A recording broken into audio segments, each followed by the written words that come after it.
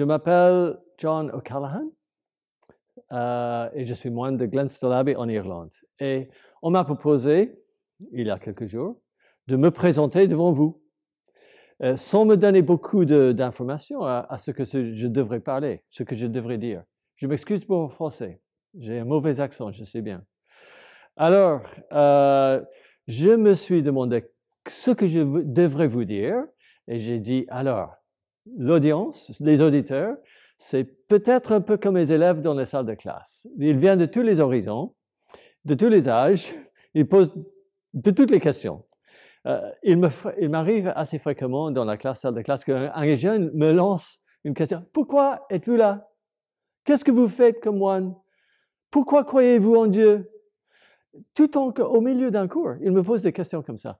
Alors, euh, peut-être vous avez les mêmes questions.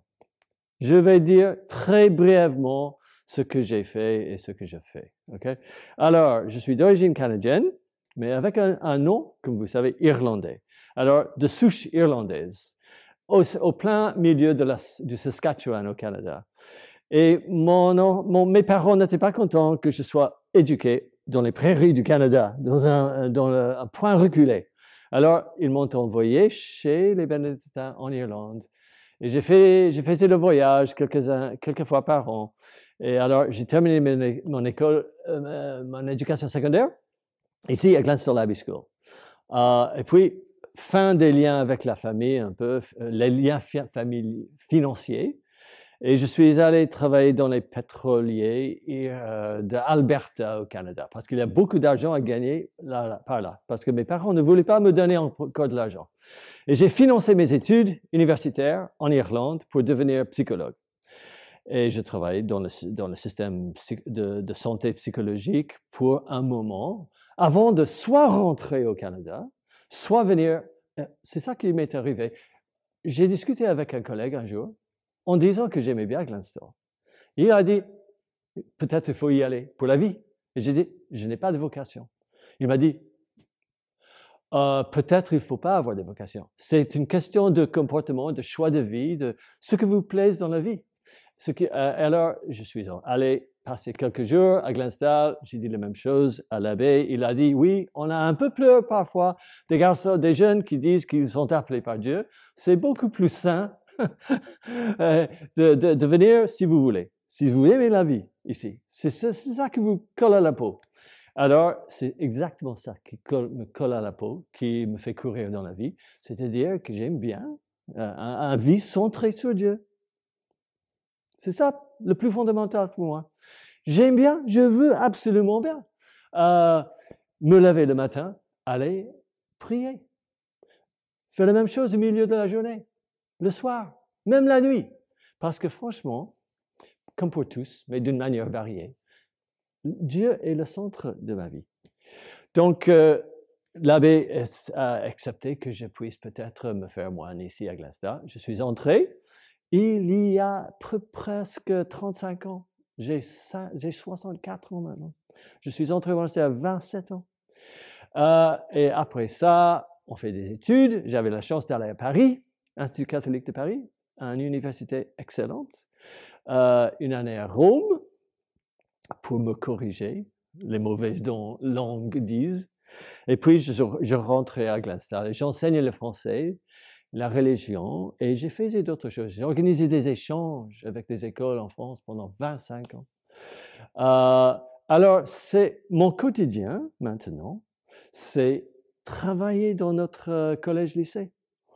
Et dans une ambiance de, dans une vie de prière. Je travaille avec les jeunes parce que ça va, je travaille bien avec les jeunes. Je donne des cours de français à tous les âges, à tous les âges, excuse-moi. Et euh, je, donne des cours de religion, qui est fascinant. Quelques cours par jour, surtout pour les terminales, euh, ceux qui sont en première, euh, système français. Donc, par exemple, aujourd'hui, j'ai donné un cours sur l'islam. Je donne à chacun un Coran j'ai lu le Coran. Donc, j'ai marqué les, passages les plus importants. Par exemple, le Surah 4, euh, verset 29, sur la liberté dans la religion. Puis on discute la liberté dans la religion. Et en plus, ce qui me préoccupe maintenant, c'est l'interprétation des textes religieux. Euh, comment interpréter le Coran? Littéralement, comme un bon fondamentaliste? Comment est-ce qu'on peut traduire, traduire, et c'est interpréter, n'est-ce pas? Comment interpréter un texte biblique? Est-ce que Moïse a vrai Est-ce que, que la création s'est passée en sept jours? Sept fois 45 heures? Pas question de ça. C'est une question de genre littéraire. Il faut comprendre bien le genre littéraire avant d'interpréter un texte. Ça, c'est un des gros problèmes pour les musulmans aujourd'hui. Donc, mais j'aborde ces questions dans les cours de religion. Alors, français, religion, et en plus, euh, j'ai le plaisir de faire des petits projets. Euh, depuis dix ans, j'amène des groupes, un, groupe d'une dizaine de jeunes avec moi au fin fond du Kenya ou de la Tanzanie en hiver, en, été, pour travailler avec des jeunes de, ces coins-là. Euh, l'année dernière, c'était la meilleure année. J'avais dix gens très passionnés de, m'accompagner, de vivre dans les tentes et d'arriver sur place et enseigner l'informatique à leurs homologues. Et euh, avant de venir, de, récolter les fonds pour cette école qui était, qui, était dans un état absolument euh, euh, ridicule. Donc, il n'a pas l'infrastructure nécessaire pour une éducation. On n'a pas même des toilettes. D'accord? Donc, on a, on a, payé euh, 8000 euh, euros pour construire six toilettes, soi-disant toilettes. Ce sont des latrines, en fait. En plus, une salle de classe, 13 000 euros. Euh, aussi euh, de l'argent pour réaménager euh, une autre salle de classe pour que ça puisse être une salle d'ordi. Et on a eu une sacrée chance l'année dernière parce qu'une société pharmacologique suisse à, Cork nous a donné des laptops, 39 laptops, gratuitement parce qu'ils étaient en train de renouveler leur, propre, batterie d'ordinateur. Donc, on, a apporté tout ça avec nous et on a partagé euh, ce butin entre, entre deux écoles.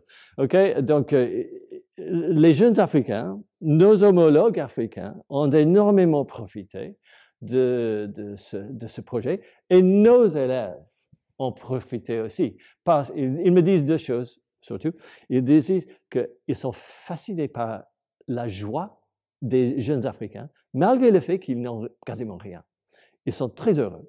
Et deuxièmement, l'accueil qu'ils réservent à nos élèves.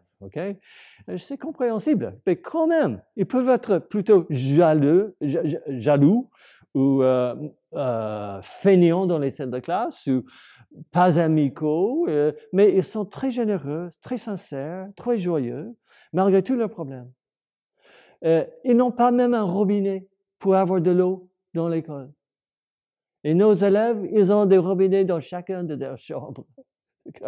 Donc, ils apprennent énormément de choses. Ça, pour moi, c'est un très grand plaisir dans mon travail du quotidien d'amener un groupe dans un, dans un tel lieu pour qu'ils puissent euh, revaloriser un peu leur vie, avoir une perspective plus saine, moins à la mode, donner une vraie éducation chrétienne à mes élèves, euh, donner un boussole pour la vie n'est-ce pas? C'est ça que.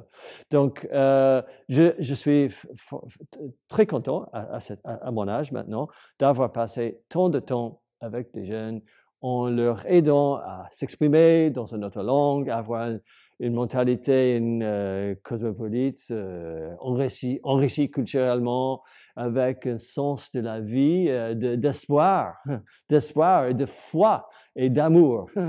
OK? Faith, hope and love. La foi, l'amour et l'espérance. Donc, l'éducation me, me, donne l'opportunité de promouvoir le christianisme, de proposer plutôt, on, dit proposer le christianisme. J'avais la chance ici, on a la chance ici, de faire des études universitaires si on devient moine, n'est-ce pas? Paris, Rome, Oxford pour deux ans, et ensuite Leuven en Belgique. J'ai pris une année sabbatique récemment. C'est formidable faire des études. L'avenir, quand je n'ai plus l'énergie nécessaire pour travailler dans l'école, j'espère peut-être quand même continuer dans cette ambiance de prière qui est la vie monastique, mais avec une certaine, soi-disant, mission, n'est-ce pas, euh, auprès d'autres personnes J'animais des, euh, des, groupes de réflexion pour des adultes il y a des années et ça marche très bien. Des adultes sont, euh, à la recherche aussi bien que d'autres personnes pour comprendre, mieux comprendre le christianisme et tout ça. Donc, j'aimerais énormément aider à ce travail. Il y a déjà des groupes de travail de ce genre-là, ici à Glenstone. Euh, et euh, voilà, mais peut-être je peux me joindre à cette équipe. Et finalement, juste pour vous noter, euh, avant de venir à Glenstone, je me suis demandé, est-ce que je, fais le bon choix? Et j'aime bien le choix de Glenstone parce qu'il y a une variété de travail possible pour toutes les, toutes les étapes de la vie, pour tout genre de personnes. On peut être dans l'accueil, on peut être administration, éducation, vie agricole d'un fermier. Euh, on peut inventer. On, a des. Ils se disent des intellectuels. Ils ne se disent pas des intellectuels, mais ils, sont des intellectuels. Des écrivains sur l'histoire surtout. littérature, philo, musique. Donc, si tu as un, don comme ça, ça peut être, euh, ça peut, on peut le faire éclore à Glenstone, ok? J'espère que vous m'avez compris.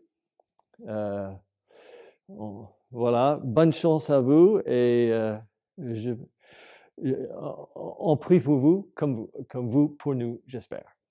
Au revoir.